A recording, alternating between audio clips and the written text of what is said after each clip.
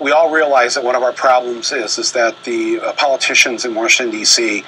are a, a, a bunch of uh, d bags, if I can say that, um, Mm-hmm. and um, and we're sick and tired of them. All kinds of people are sick and tired of these guys not doing their job.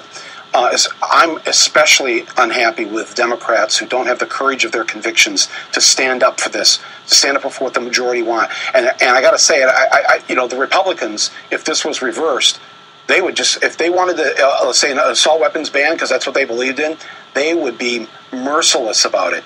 They would be, they would, doing oh everything. my God, they would do everything. Our side, it's like, well, Harry Reid. I'm gonna do my Harry Reid impersonation. Well, um, we, we, we, we, we don't have the votes, and so I don't want to bring it up because it, it, it won't pass. I mean, I mean Right. that's as that's as crazy as as the Detroit Lions, you know, getting the kickoff.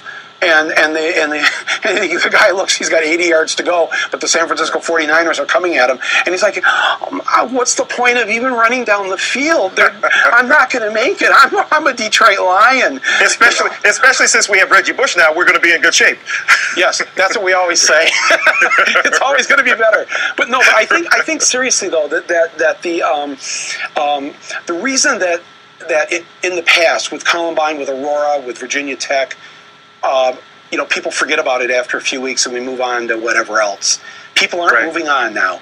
They're not moving on after Newtown, and I think the reason for that is, and I can tell by the mail I get, there are too many parents who every day drive their kids to school and they open the door and this is what I, I mean i've got this more than a dozen times from mothers writing me and saying i now when i when they open the door and i see them walk down the sidewalk into the school i am sick that i have to feel like is that the last time i'm going to see my child Yeah. and and because of that, because since uh, school went back into session after Christmas, after the after Newtown, since January, millions of moms and dads have been dropping their kids off at school every day, and in the backs of their minds, they know where they live.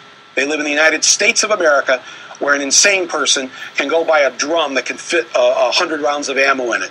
They know Right. that, and they know that their child is at risk, and that's why this issue isn't going to go away. That's why the politicians who are fighting this are going to be in trouble because the parents are going to revolt. They're going to say enough is enough, and it may not happen right now. And and, and the question that I asked Harry Reid, you know, I tweeted him the other night. I said, Harry, you know, just to, so we could save some time, uh, just give me a number. How many kids is it going to take to be Right. massacred before you're going to stand up and fight for what the majority of the people want? Oh, just give me a number. I don't even. I'm 50 kids, 50 more, 500 more kids. What, whatever the number is, just tell me how many dead, massacred, dismembered children will it take? Because I know there's a number. There's a number where you and everybody else are going to go. That's it. Game over. NRA out. Right. This is our country. It's going to happen. look. I wish it would happen Right. now and not after the next Newtown, which is going to happen in the next month, and we all know it. We all know we won't get through another month without this. Well, And- you know, and- we, and- we right. Let me ask you this question.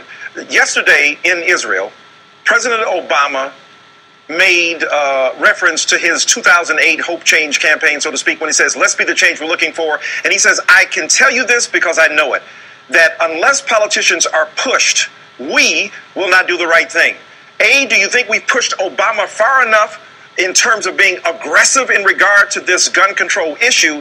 And B, how can people voice their outrage when we have leaders like Harry Reid, good, Yeah. honorable men, who feel that they're beholden to either the Republican vote that won't agree with them or the NRA lobby, which has so fiercely contested them that they feel helpless? The American people went crazy the other night when Harry Reid did that, and he's now he's walked back his position.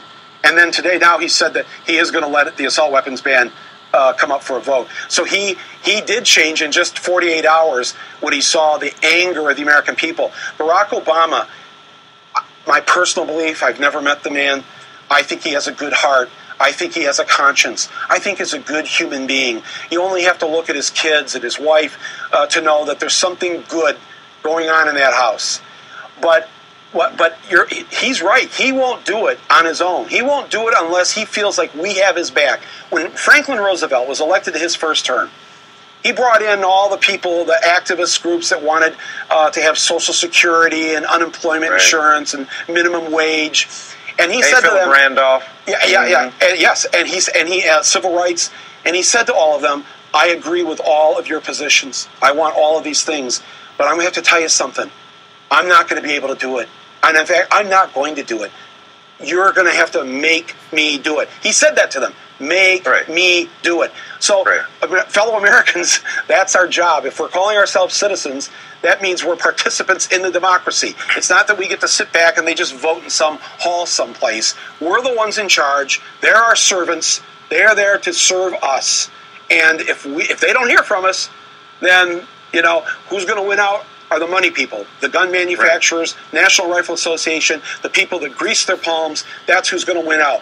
But I got to tell you, here's what the NRA is scared about tonight, and the gun manufacturers. There's a lot more of us than there are of them.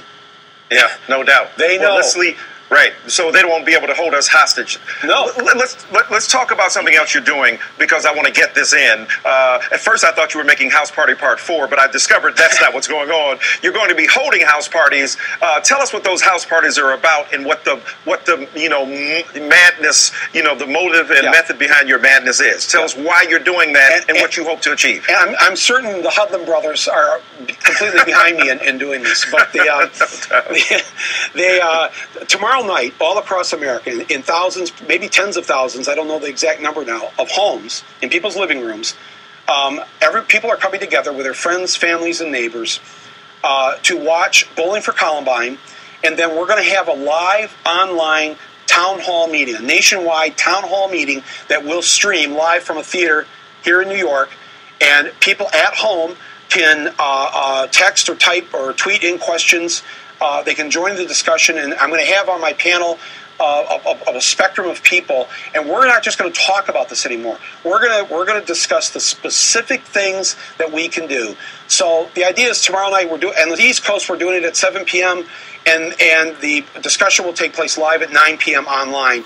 Uh, and you go on the move on uh, moveon.org's uh, website. You All go on my website and get the information too. But but if you, anybody watching this that would like to call up a couple friends and watch uh, Bowling for Columbine, Netflix is ma- is helping us out and making it available for free tomorrow night. Even if you're not on Netflix. Uh, they'll let you watch it for free tomorrow night. Uh, you just go to their, our site and click the button. So you can, everybody can watch this at home, and then we can have this discussion. Don't wait or think that somebody else is going to do this for us. We don't have a group as great as the Brady campaign and all these groups are. We don't have anything comparable to the NRA. All we have is our numbers, which is 303 million who are not members right. of their organization.